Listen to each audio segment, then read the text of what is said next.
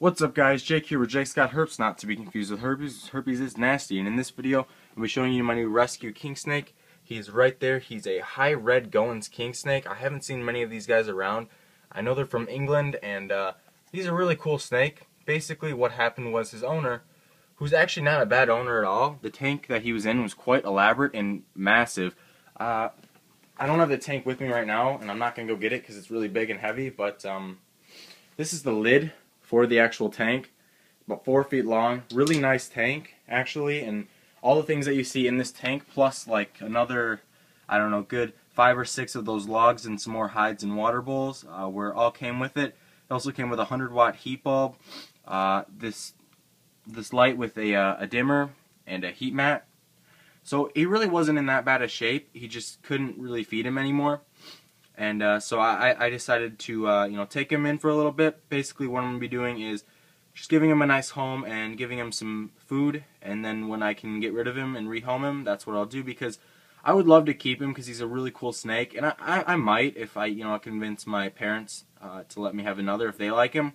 But if not, that's all right. I kind of have uh, my my hands full right now with all the snakes that I have, and I don't really need any more. But um, but yeah, so here he is.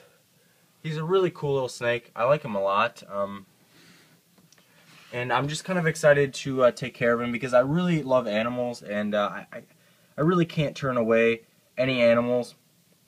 So that's why I'm keeping him. He's a cool, he's a really cool little guy.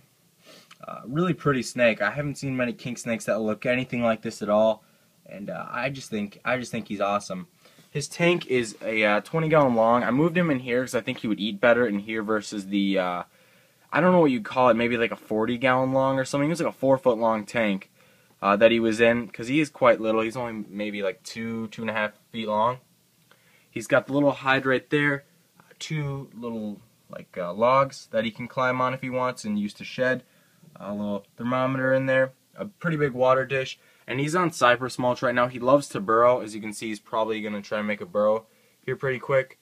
Uh, but cypress doesn't really hold burrows that well and it holds a lot of humidity, which is sort of the opposite of what you want for a king snake.